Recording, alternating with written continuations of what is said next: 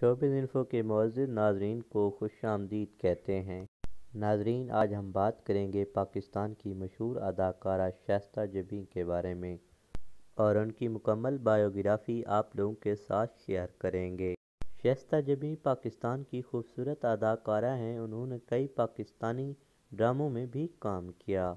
नाजरीन, वीडियो को मज़ीद आगे बढ़ाने से पहले आप लोगों से एक छोटी सी रिक्वेस्ट है। अगर आप हमारे चैनल पर नए हैं तो प्लीज़ हमारे चैनल को सब्सक्राइब कर दें। साथ लगे बेल नोटिफिकेशन को भी प्रेस करें ताकि हर आने वाली न्यू वीडियो का नोटिफिकेशन आपको मिलता रहे। अदाकारा शस्ता जबीन का कहना है कि उन्होंने अपनी वालदा को बचपन में ही खो दिया। तब से वो अपनी फैमिली को सपोर्ट करने के लिए काम कर रही हैं।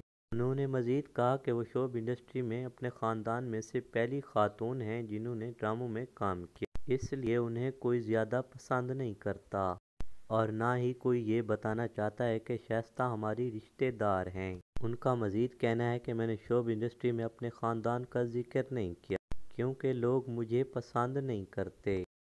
शादी ना करने के सवाल पर उनका कहना था कि मैंने शादी इसलिए नहीं की कि दूसरों को देखकर मैंने इबरत हासिल की। उनका कहना था कि शादीशुदा लोग खुशगवार ज़िंदगी नहीं गुजार सकते। नाजरीन शास्ता जमी पाकिस्तान के कई ड्रामों में काम कर चुकी हैं और उन्हें ड्रामों में बहुत पसंद किया जाता है। उम्मीद है कि आप लोगों को ये वीडियो पसंद आई होगी। वीडियो को लाइक्स और कमेंट ज़रूर दीजिएगा। इस तरह की मज़ीद अपडेट्स के लिए हमारे चैनल के साथ जुड़े रहिए। अगली वीडियो तक दीजिए इजाज़त। अल्लाह निगेबान